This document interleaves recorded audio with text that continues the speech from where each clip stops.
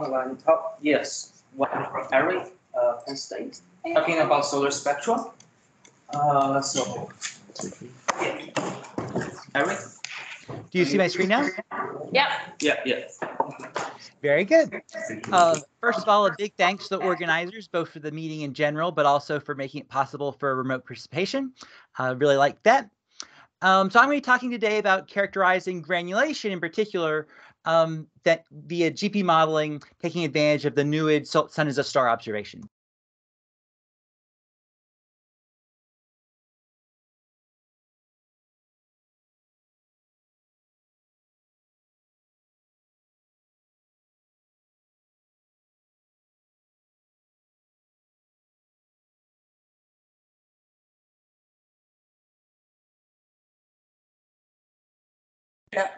You're only going to muted for about a minute.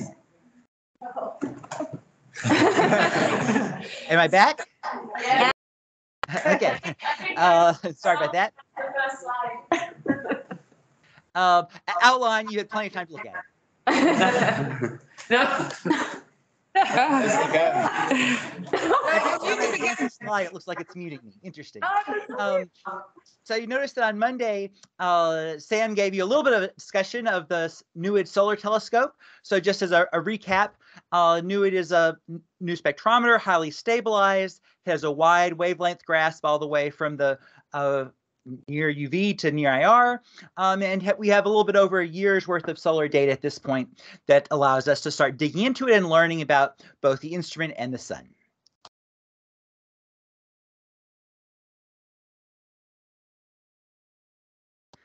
Okay, uh, so so the goals for the uh, NEID Solar Telescope, which has been a, a collaboration funded the construction was funded by the Heising Simons Foundation. The operations are supported by NOIR Lab and NASA. Um, is to be able to validate strategies for mitigating stellar variability. And in particular, uh, we want to be able to look at models that we're developing for granulation as well as oscillations activity and try to inform the choice of Gaussian process kernels that are going to be applied to that data so as they're appropriate uh, for the star. There's some other possibilities thanks to NEID's unique characteristics. Um, because it's broad wavelength grasp, we have the opportunity to, to compare uh, whether the, the broad wavelength grasp is useful for forming activity indicators and potentially affect the design of future instruments. Um, also has the potential to affect the design of future instruments or RV surveys through things like the choice of the observing cadence, uh, implications for the number of targets, um, and one of the ways that comes up is uh, we, we chose to take a lot of data. So every 55 seconds are exposure times. A little bit annoying in terms of processing, but it does allow us to really study the oscillations and granulation and understand how things like integration times will affect our, our surveys. And then finally, uh, it, it's great. There are other stellar telescopes, HARPS, HARPS uh, North, Espresso, um, and we'll be able to compare with those to understand which of the things we're seeing are, are really stellar because they show up in all the instruments, and which ones could be some form of instrumental variability that uh, we need to, to better understand.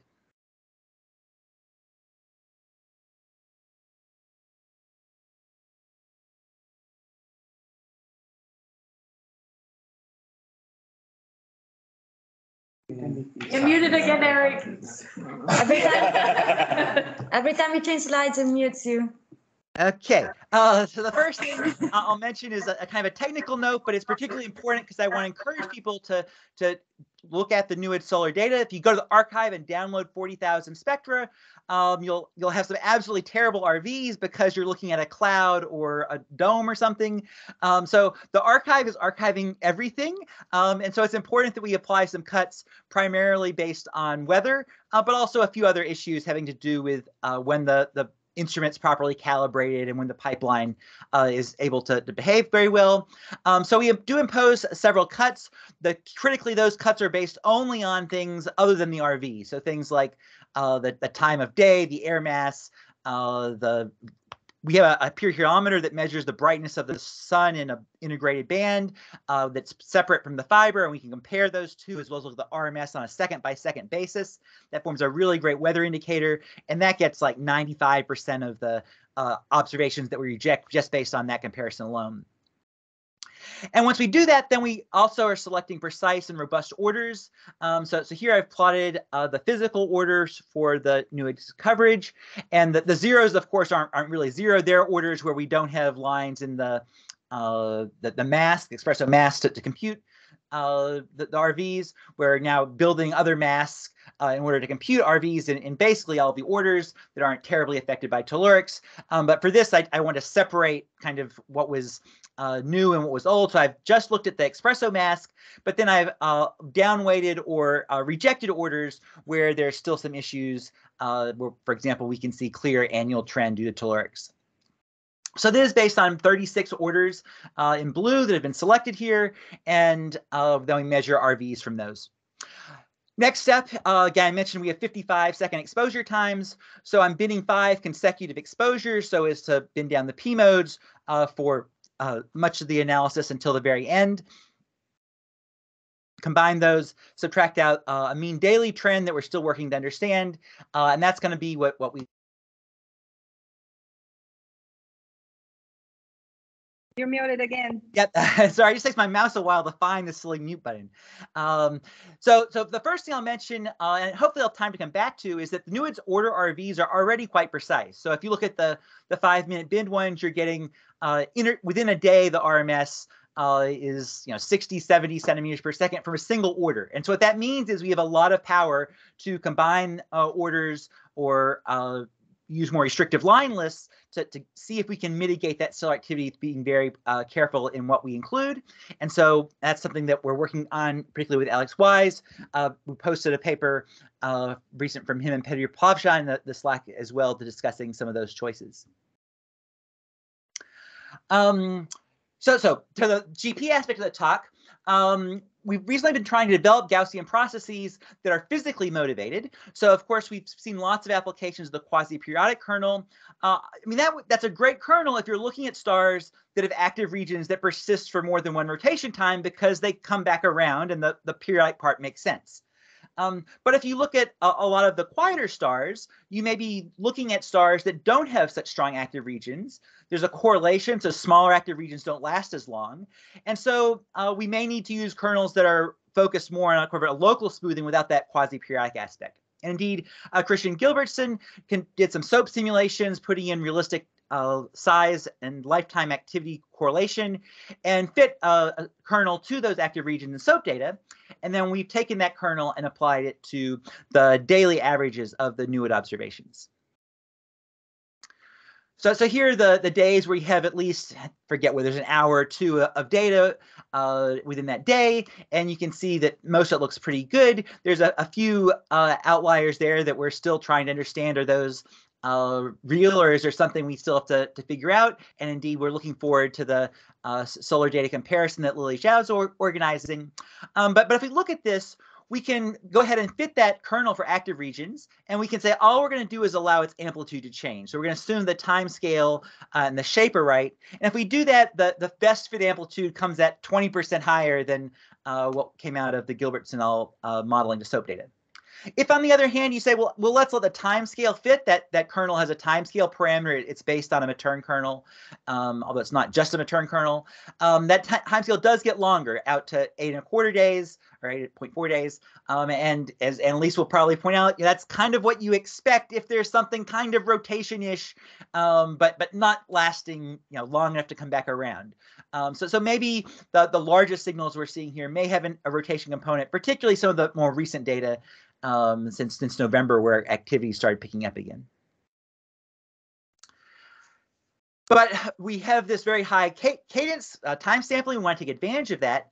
And so uh, Zhao uh, Guo and Jacob Luhn have been working to develop uh, GP kernels informed by observations both of the sun, but also other stars in an asteroseismology context so, so Zhao combined both theoretical and empirical relations to get these power spectral density representations of oscillations and granulation. And then uh, they worked together and Jacob was able to come up with Gaussian process representations to, to those uh, kernels. And so if we want to represent oscillations, uh, that's actually been done previously in a paper with uh, Erik Petigura and Dan Foreman-Mackey on having an approximation based on a stochastically driven damped harmonic oscillator. Um, and then Jacob's contribution here was to, to work through integrating for finite exposure times. And we're taking into account the, the kind of weird cadence. We have a 55 seconds on, 38 seconds off, 55 seconds on, 38 seconds off. And we can uh, fit for that kernel to see the oscillations effect.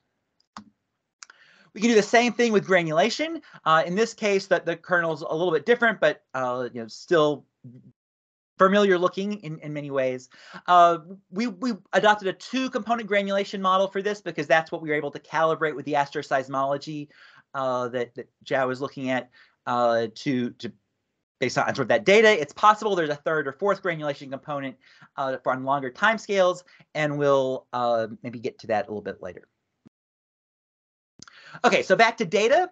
Uh, if we take the NEID solar data and instead of bidding at five minutes to look at things like the daily uh, averages, uh, if we first bin for, for, one observation, then for two observations, three, four, and we look at how the RMS of the binned data within one day decreases with the number of observations, you can see uh, how that decreases, how it improves, and how that compares to a naive 1 over root n scaling you'd expect from photon noise. So one, of course, uh, is the anchor point here. If you look at consecutive observations, that the anti-correlation of rapidly sampled points within an oscillation timescale means your RMS is dra dropping faster than photon noise. Once you hit uh, five, six minutes, um, now it starts to level off and you can see that the improvement in precision as you bin further is much slower than what you'd get from photon noise alone. So this has important implications for the design of RV surveys, and we want to have an accurate representation of that uh, so that we plan them accordingly, and we want to have an accurate GP kernel that's able to uh, include the information that we do take when we have multiple observations within in one night appropriately. So uh, let's take that baseline model where we plug in uh, the active regions, granulations, oscillations, take into account the finite exposure times, wrap that all up in one GP, and plot what sh we should have seen. So there's zero free parameters, nothing is matched here, and okay, I'd say it's pretty good. Um, but of course, uh, we always will aim for a lot better. Uh, the key thing to note here is that uh, the it, the effects of granulation, the the longer time scales, uh, within a night aren't uh, estimated accurately um, in the sense of there's a higher RMS than you'd expect from our, our baseline model with, with no tweaks. And so we see that mostly once you start to hit 30 minutes or more. Um, and so one obvious solution is, remember I said we put in two granulation components. There's evidence for third and fourth granulation components. So I just took that same functional form and said, what if I add a third granulation component with a, a time scale of several hours um, and then tweak the uh, model a little bit. And so you can see that uh, the green curve shows if all I do is add that third granulation component. Um, since I add a third granulation component, it, it means I have to adjust the, the strength of the first two because otherwise, you know, I fit to a two component model to a three component thing. So, so, so I am tuning the strength of the, the other ones, but only the granulation is tuned in the, the green curve. Um, now you can see a, a really nice fit to the data uh, that describes the, the correlations on almost all time scales. If you look carefully, you'll see that there's a, a, a little under prediction for uh, the, the very shortest time scales. And so I can uh, adjust for that by increasing the strength of oscillations. Um, and so I still want to get to the bottom of why that is um, but it, it, it, gives us a, a, very nice model for, uh, for, for the observed temporal behavior of the NEID solar spectrum. Okay, so uh, summary of what we've done so far. Uh, is giving high cadence, high precision, some of the sun as a star observations. Uh, Andrea Lin has a nice paper summarizing the current state of that. Um, there's a GP model now that accounts for the temporal variability to short-lived active regions, and that gives a much better fit to NEID solar observations than trying the quasi-periodic kernel. Um, we also provide GP models for temporal variability to oscillations and granulations, including finite integration times, and we're uh, in the process of validating and calibrating those GP models uh, based on NEID solar data.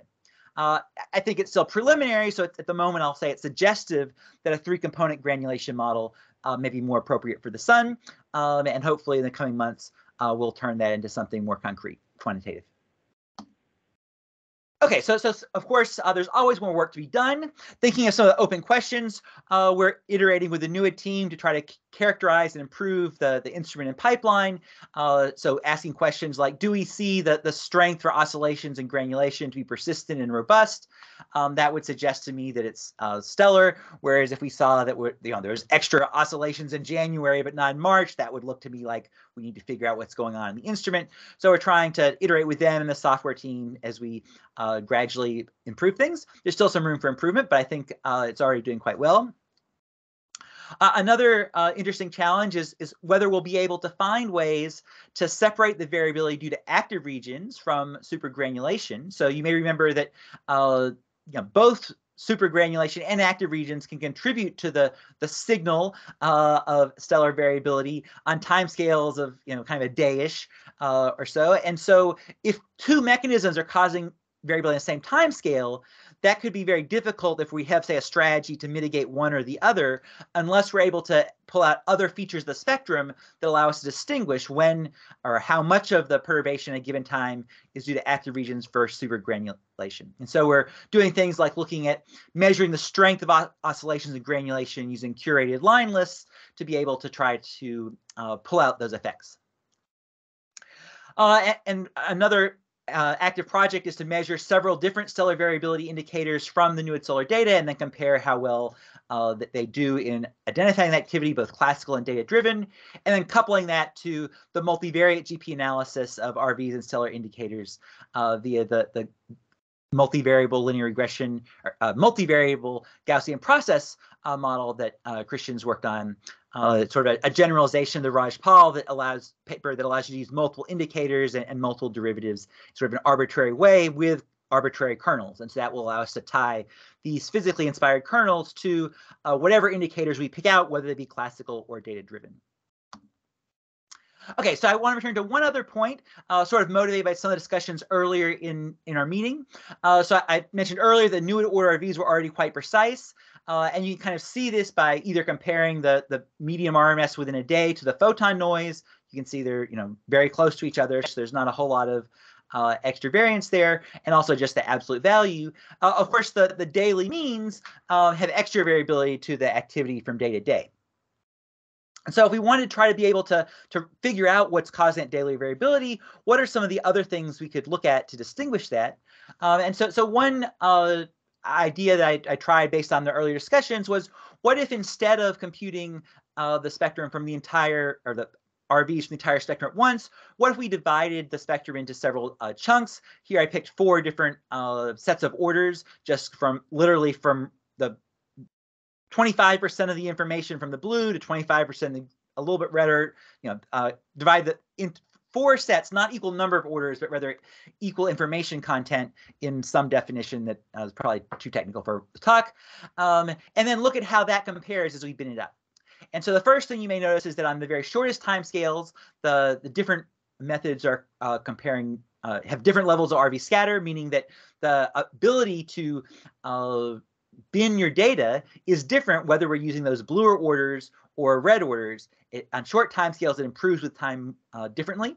Uh, but on longer time scales, once you kind of get to you know 15, 20 minutes or so, you see that uh, they're performing very similar in terms of their uh, performance. So uh, this is the type of observation that we hope to do. This uses, again, only those 36 orders that we picked out from the Espresso mask. So we've really not exploited the full leverage of the, the NEID uh, instrument. There's several orders, the near IR, that are, are quite usable. Probably not quite as high precision, but still uh, a lot of information there. So we'll be looking at using those to try to come up with chromatic um, or, or line depth or temperature type probes of the different mechanisms. And with that, I'll turn it open to questions.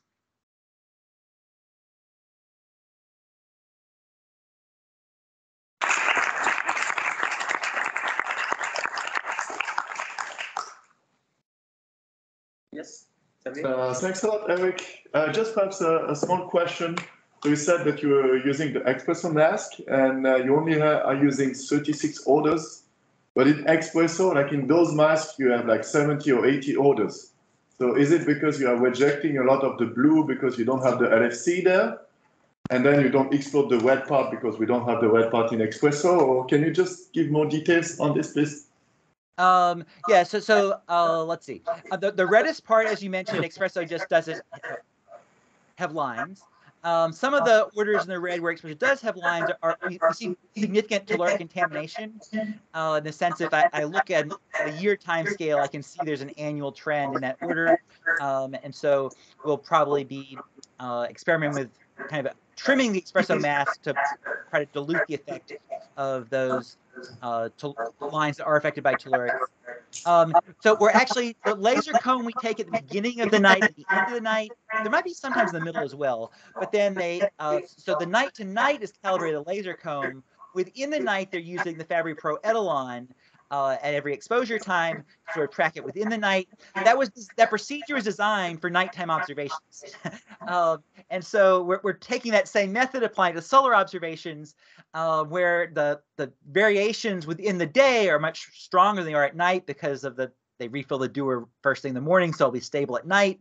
Unfortunately for us, that means it's uh, least linear during the daytime. So we're using the Etalon to calibrate it, uh, you know, rather than the the Fabry-Perot. So we do have information to calibrate uh, all the way into the blue, um, but I guess uh, that the there's something in the extraction that, that caused us to, to trim where where we're using the, the blue lines. But you can also see that and the flux goes we have very little flux in the you know far blue, right? And so you can see the the RMS of the reddest or the, the bluest orders here on the right is already shooting it pretty high.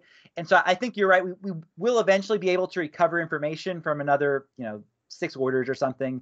Uh, but just the, the information content won't be very high because the photon noise from fiber loss. Yes, thank you. Yes, more questions? Yeah, Heather? For your, thanks Eric for a really interesting talk. For your GP models for your granulation, can you tell us about what the hyperparameters are and what you think that they're tracing physically and what they can tell us about the, the granulation? Um, probably if I sat down and thought about it. Uh, so so if, if you look, I mean, uh, the easy one where they are, the, the capital S's here, those are strength terms. That's just the strength of correlation. That's the easy one. Um, omega one here, that's the the term that's multiplying. Delta is the difference in time or absolute value, the difference in time, at least for instantaneous yeah, this this version is the instantaneous one rather than the integrated one. Uh, so so here, this is giving you the sort of time scale for uh, the the oscillatory part um, and and the exponential part, I guess, as, as well. Here it shows up in in both places. Um, and there's another parameter that shows up having to do with the, the integration time. So uh, I, I, think of it as basically an amplitude and a time scale for each component. And they have these kind of you know shapes. Uh, you probably remember from looking at uh, power spectrum of the, the the granulation sequence where there's kind of a, like a shelf and a fall off, right? And so if I if I have a, a, function that doesn't look like that, I can kind of approximate it by having the the shelf two of them at different places and I can kind of like stitch two. Okay, I have a more complex shape. I can put a third. Um, and so, so they, they have been used to, to sort of fit the power spectrum density of many stars, not just the sun.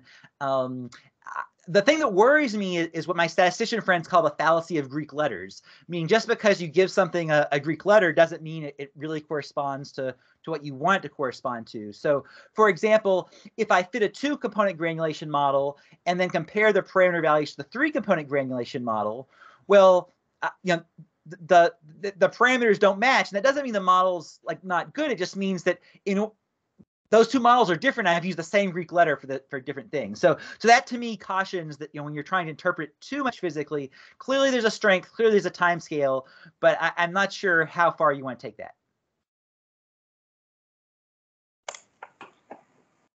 I see uh, Sharon had a question in the Slack about the power spectrum of solar RVs with the best fit GP components. I, I don't think I answered the question, so so maybe oh, maybe the reply will clarify it. Um, I, I think I'm going to have to ask you to clarify the question for your answer. And the, the way the, the GP kernels were derived was by first computing the power spectrum uh, of, of not just the sun, but lots of other asteroseismic targets, and then fitting models to the, to the power spectrum for those other cases, and then finding the GP uh, covariance kernel that would have the same uh, sort of behavior as that power spectrum density. So so they, they should be a, a pretty close match uh, there. I mean, there's some issues like the, the, oscillations have been approximated with a, a Gaussian envelope rather than a, a sum of discrete modes. So it's you know, not exact, exact, but uh, the hope there is it's a, a good approximation based on power spectrum density being the same. Okay, I was just curious about the relative um, power in the granulation vs um, oscillation. Oh, the relative power. Well, I mean, it's they're on different time scales, right? So, I mean, you, you can see that the uh, the the oscillations make a really big effect for you know your first five minutes, but but once you're out at you know 15 minutes, the oscillations are are kind of irrelevant, and and granulation is everything, right? So, so I don't think it's so much like which is stronger. I think it's more about what time scale, you know, for your given target, its brightness, um, the size of your telescope, the efficiency of your instrument. Um, you know, those things are going to affect how much you're going to be uh, worrying about one or the other. I mean, I, I kind of view oscillations as uh, important for the sun and some very bright stars, maybe some of the ones targeted for future direct imaging missions.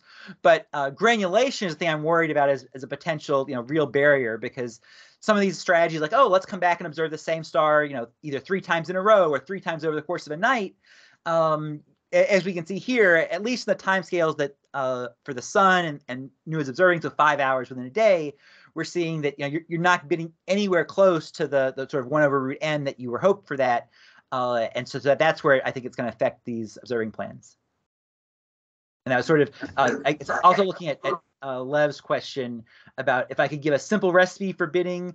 Um, so I'm not sure whether I think you're suggesting what should the observers do, and, and I won't say it's simple because it depends on the star, your your telescope, and so that's why we want to give you these kernels so you can do the simulation for your telescope and your target and figure out what's the optimal uh, exposure time for uh, both oscillations and granulations for that target.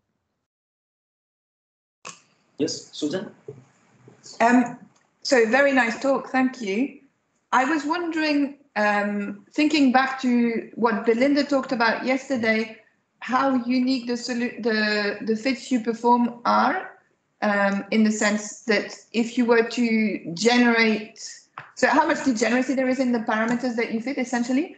And then the other question is probably one that you can't answer yet, but is uh, if you look at the sun um, uh, at different times, would you get the same uh, granulation power spectrum and then the same same GP? I mean, it'd be nice to redo this when it's more active. I guess. Yeah, absolutely. So, so in some ways, uh, it's kind of sad to see the sun getting more active. If, if you've been, you know, evaluating how well you're doing based on the RMS, and suddenly it's hopeless because the sun's being active. But in other ways, it's really good because it allows us to start testing whether our methods that uh, we can see if they work well during the quiet phase, how well they work during the active phase. So uh, the first question, how degenerate is it? That the oscillations separate out very cleanly because you know they're on such a different time scale. The active regions, there's a small covariance once you add the, the longer granulation component terms. So the, the first two terms are, are like, I think maybe 30-ish minutes. So they're not that long time scales uh, for the sun. Uh, if you start thinking about supergranulation, you can start having you know time scales of several hours or even uh, a day or something. At th- that point, it can be a little bit covariant with the activity cycle, but uh, for the sun and, and, this particular data set, those th- that correlation was negligible. The annoying thing, you know, when I was uh, fitting these, is that there is a strong correlation between the strength and the time scale of those first few granulation components. And so if you let everything be totally free, it's it's terribly degenerate. If you bring in the the sort of theory of, of asteroseismology and say, well, actually, we have experience looking at other stars in photometry and we know about the relationships of their time scales, and you try to bake that in, uh, that certainly helps you, you split things off. That's why I was primarily tuning the amplitudes rather than trying to adjust uh, the, the time scales. Um, and so, so I think uh, there is a degeneracy if you let all the parameters vary at once it's quite strong if you bring in some physics you can help reduce that um, at least for, for my purposes of kind of designing a survey and being able to separate out granulation noise from active region noise, I'm not sure I care so much about the, you know, whether I've put more of the power in the second or third component of the granulation as long as I'm matching the temporal behavior will. So I'm not sure that's a, a, a practical problem for people who only care at the RV and not studying stars themselves. Uh, absolutely, we want to, to look to longer time scales and compare things like is the strength of granulation robust in time? Does it correlate with activity? Um, yeah, so that's definitely something we'll be doing over uh, the course of hopefully the next year as the sun picks up. just to come back on that, my question was also asked from a practical perspective.